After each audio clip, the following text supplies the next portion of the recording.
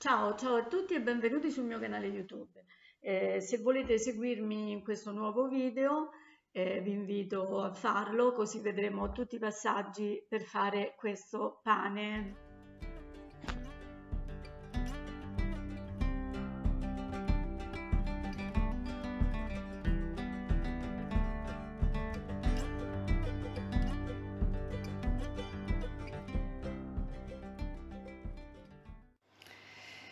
Allora, ehm, ho fatto la solita procedura, ho messo in autolisi le farine con eh, una buona parte di acqua, quasi tutta l'ho messa, ne ho lasciata solo una piccola parte e comunque fino a che la farina mh, eh, assorbe acqua la mettiamo, quando non, non c'è più farina asciutta continuiamo a mettere acqua.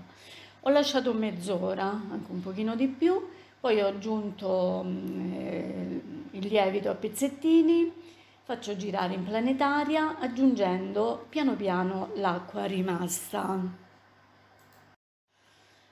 Ok, scusate i guanti perché ho appena fatto le unghie, ho messo eh, questi un pochino i guanti per non rovinare le unghie.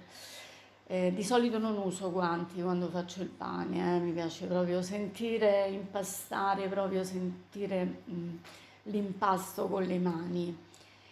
Allora, continuo, vedete, metto ancora acqua, la metto piano piano l'acqua che è rimasta eh, e faccio eh, incordare un pochino, non tantissimo, non serve, mm, presto poco 10 minuti. Poi butto l'impasto sul piano di lavoro e faccio così qualche piega, pirlo, ok, ecco qua e adesso eh, lo faccio riposare 30 minuti, farina ne metto pochissima, copro e aspetto i 30 minuti. Passato, passato il tempo ci faccio un, giro di pieghe. Ho preparato già l'anice come vedete ma quello va messo dopo, al secondo, al secondo, alla seconda lievitazione quindi qui ci faccio un giro di pieghe ehm, e poi eh, lo metto eh, dentro una ciotola come abbiamo sempre fatto una ciotola oliata e andrà quindi a lievitare eh, 4-5 ore. Questo è un pane che ho fatto in giornata eh, quindi ho iniziato la mattina e poi la sera ho cotto il pane qui ci metto spennello un po' di olio lo metto dentro. Quindi l'anice non va nel primo impasto ma nel secondo perché faremo una laminazione eh, dove poi metteremo l'anice ecco qua. Questo è l'impasto dopo la prima lievitazione.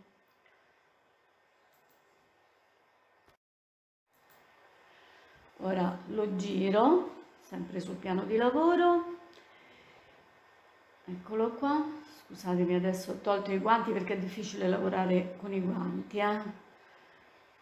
Eh, perdonatemi lo smalto ma non è uno smalto è un gel quindi non rilascia niente eh?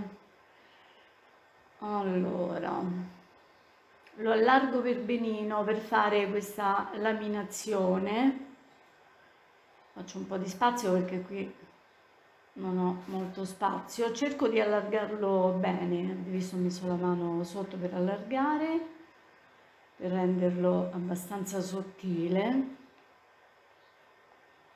Ok.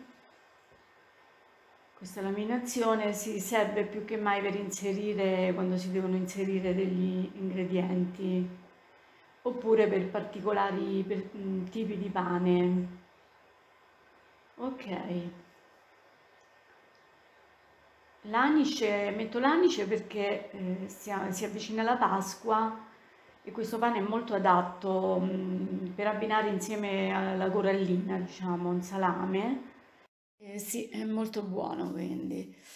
Bene, io non ne ho messi tantissimi come vedete, ma se volete abbondate voi, eh, abbondate, se vi piacciono abbondate.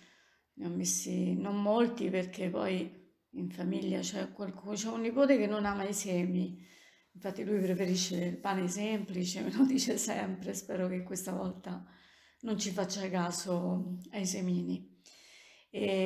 Fa, lo piego così come avete visto, ho fatto delle pieghe, qui come mm, continuo tipo eh, con le pieghe a 3, in questo modo arrotondo un pochino e lo lascio, lo lascio eh, 30, minimo 30 minuti, poi anche se lo tenete 40 minuti è lo stesso, eh? lo copro Ok, passato, passato il tempo lo vado a riprendere. E qui ho accelerato un pochino, ci faccio un giro, un giro di pieghe normali. Soltanto un giro, così vedete è molto morbido. Ecco qua. E adesso eh, lo copro di nuovo, lo faccio riposare 30 minuti dopodiché procedo per la formatura. Bene, quindi lo riprendo e lo allargo così. Io ci farò un filone. Qui ci vengono, ce ne vengono anche due volendo, eh.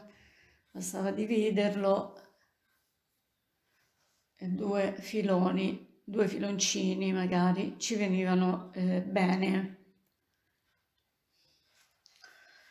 io ne farò uno eh, più grande, più lungo. Quindi piego in questo modo, così,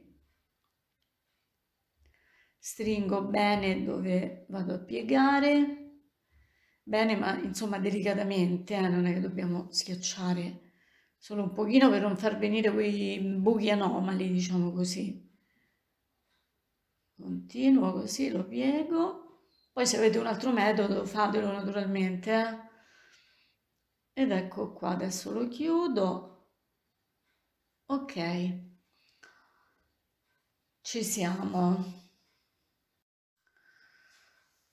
Cerco, lo, lo pirlo un pochino per allungarlo perché ne voglio fare, non voglio fare un, fil, un filone cicciotto, diciamo così, e quindi lo farò un pochino più lungo. Non uso il cestino perché eh, è troppo corto, lo voglio fare più lungo del cestino che ho, in, che ho a casa. Dico sempre che devo prenderne uno più grande, però poi mi dimentico. Lo metto dentro mh, mm, eh, questa placca del la seconda placca del forno che è un pochino più alta. Ci ho messo un telo con un po' di semola. Ho insemolato bene, scusate. Lo appoggio vicino al bordo così il bordo gli fa mm, da spalliera, diciamo così. Metto ancora semola. E poi, poi chiudo il telo, ce lo avvolgo in modo che ehm, cerco di, in modo che cresca in altezza e non si allarghi più di tanto, quindi lo stringo un pochino così ci metto anche un altro telo vicino per sorreggerlo e lo lascio, lo lascio lievitare ancora qualche ora. Allora, il tempo della lievitazione, come sapete, può variare in base alle temperature che ci sono, se è estate, inverno. Comunque il mio è stato pressappoco tre orette, diciamo, tre orette forse scarse. Allora, una volta pronto, lo vediamo quando è pronto, quando si è gonfiato un pochino, facciamo anche la prova dito. Eh, io qui procedo così perché non ho usato il cestino, quindi eh, l'ho adagiato così, oppure fatelo, fatelo rotolare direttamente con il telo. Allora, il forno è già a temperatura 250 gradi, ci faccio velocemente un taglio, qualche, mm, qualche disegnino, qualche spighetta così, tanto per eh, il forno è con vapore, con due spruzzi di vapore, altrimenti fate con lo spruzzino, mettete un pentolino con un po' d'acqua per i primi 20 minuti. Vado ad infornare. Ecco qua. Allora, si sta gonfiando, vedete, dopo 15 minuti e la temperatura, adesso ve la scrivo, eh, 2,50 almeno per 20 minuti con i primi due spruzzi di vapore, poi gradualmente abbasso a 230, 220 e 200 gradi e poi a spiffero, se lo lascio 10 minuti a spiffero, metto a 180. Ed eccolo pronto, all'incirca sono 50 minuti di cottura. Lo metto, lo adagio anche un pochino in piedi per far fuoriuscire il vapore e per tagliarlo naturalmente aspetto, aspetto che si freddi un pochino. Eh.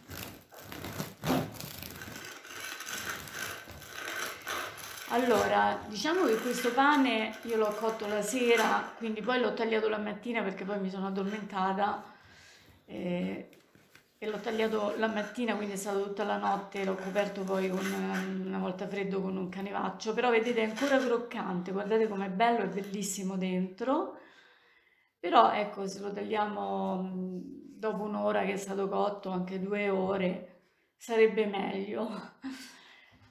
Beh, io direi che questo pane è venuto molto bene, il profumo è buonissimo, vedete si vedono i semini, anche se non messi pochi, si vedono. È molto, molto leggero, devo dire. E adesso non mi resta che assaggiarlo con un, con un salamino, questa è la corallina della bottega del gusto di Lanuvio. Ciao a tutti amici, vi ringrazio della visione e ci vediamo prestissimo. Ciao ciao!